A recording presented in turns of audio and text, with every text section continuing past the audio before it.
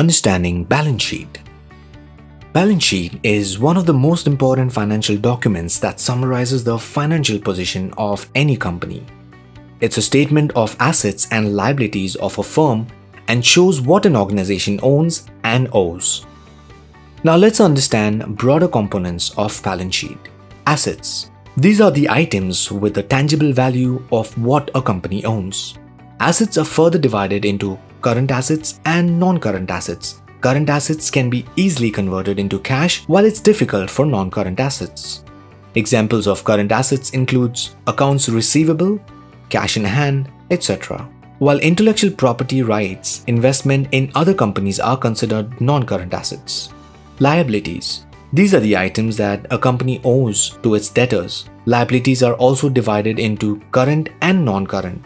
While current liabilities are the ones that the company needs to fulfill in the next year, non-current liabilities represent long-term debt. Shareholders' equity.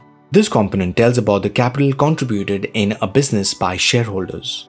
A balance sheet is an essential part of company's analysis because it helps you understand company's financial health, gauge the company's liquidity positioning and business performance, aids you to understand the growth of the company, gives you an idea about a firm's ability to undertake big projects and helps identify a company's source of funding.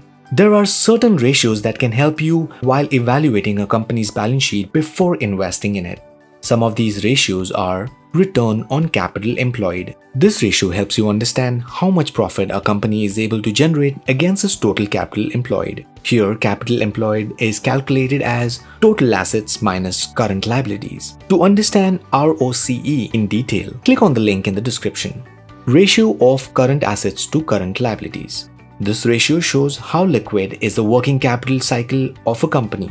Ideally, this ratio should be between 1.5 and 3 assets turnover ratio. This ratio is an indicator of the efficient utilization of a company's assets. A high ratio is desirable as it shows that the company is using its assets more efficiently to generate sales and profitability.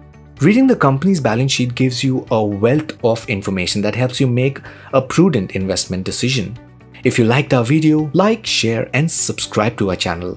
And for more such videos, visit our website www.edelweiss.in.